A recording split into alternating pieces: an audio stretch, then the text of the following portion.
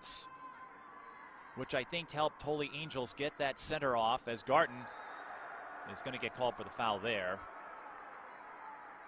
on the push against Grabowski. But Garten